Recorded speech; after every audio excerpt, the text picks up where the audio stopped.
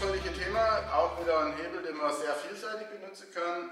Entweder einzeln oder in Kombination mit anderen Techniken.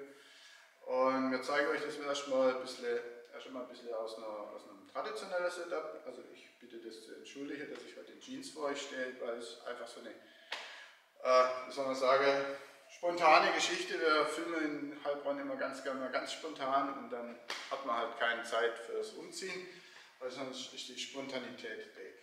So, also wir beginnen hier, Naichi Monji, ergreifen wir den Ski Innenblock. Ich komme hier zu meiner Position und gehe nach hier. Das heißt, ich komme mit meiner rechten Hüfte zu seiner rechten Hüfte, rechte Hand, rechte Hüfte. Eins, zwei, drei. Und jetzt ist nur diese Bewegung von hier unten. Das.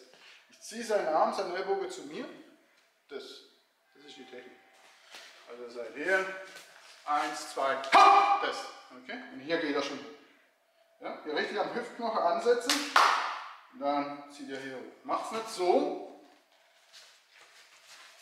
Weil wenn ihr jetzt hier seid, merkt ihr, hier kriege ich von gescheite Hip zusammen und hier ein Problem mit der zweiten. Okay? Das heißt von hier aus. Eins, zwei, drei. Ja? Könnte sich zum Beispiel anbieten, Handbefreiung, kommt ihr.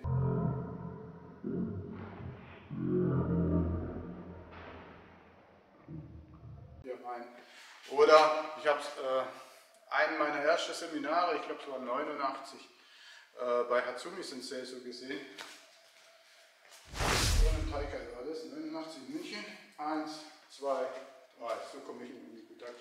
Das heißt, ich bin hier, ich kriege richtig unter Kontrolle, oder das ist meine Absicht so, er zieht den Arm zurück und ich folge ihm und dadurch komme ich in meinen Unikontakt hier rein. Ja? So, machen wir mal ganz kurz die äh, Details.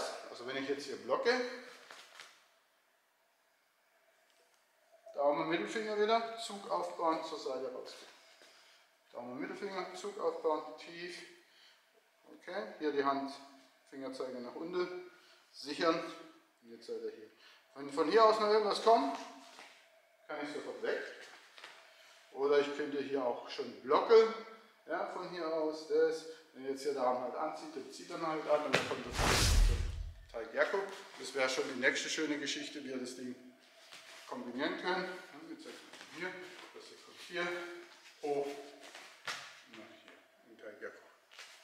Okay, also das hier, Kata Ikomi äh, mit der Hüfte, Gegner nach oben ziehen. Ja?